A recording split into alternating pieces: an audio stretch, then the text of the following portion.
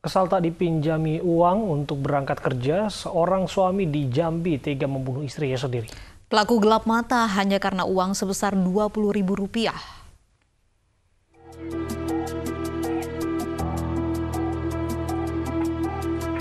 Warga Lorong Kenangan Lama Kuala Tungkal Jambi digegerkan atas tewasnya Arbayah di dalam rumahnya. Wanita 40 tahun itu tewas di tangan Samlan suaminya sendiri. Berdasarkan laporan warga dan olah tempat kejadian perkara, petugas Polres Tanjung Jabung Barat menemukan barang bukti potongan balok kayu yang digunakan sebagai alat untuk menganiaya korban.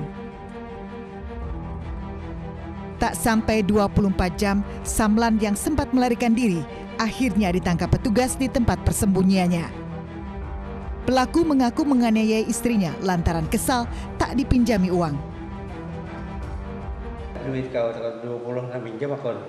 Mana ada duit aku katanya. Dari duit katanya dia boleh balik berbeda dulu Kenapa gitu? Udah. Karena kacau di depan pintu itu kan. Dekat kamar aku lah. Begitu. Balik itu langsung nendang dia. Itulah kalap tuh. Oh, nendang. Bapak minta duit, iya. terus nggak dikasih. Bukan minta berhutang. Berhutang duit iya. sama istri nggak dikasih, Nggak terus dikasih. dia malah nendang. Kalau marah-marah nendang, Nendang bapak. iya. Karena duit habis aku serahkan kalau datang kalau aku serahkan duit sama dia semuanya. adanya percekcokan pertengkaran antar suami dan istri dikarenakan ada permintaan hutang dari suami sebesar 20.000 yang akan digunakan yang bersangkutan untuk ongkos naik kendaraan umum menuju ke tempat kerjanya.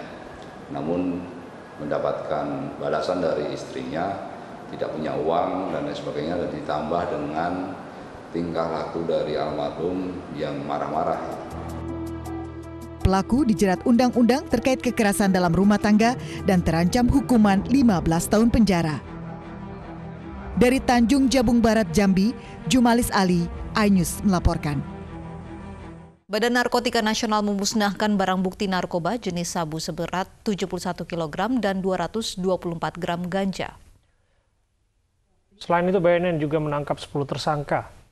Pemusnahan barang bukti narkoba pagi tadi di lapangan parkir BNN Cawang, Jakarta Timur. Barang bukti dari hasil 4 kasus yang berbeda yakni kasus pembelian ganja via Instagram, penyelundupan sabu di perairan Riau dan ganja milik penghuni kamar kos serta sabu yang dikirim dari Malaysia.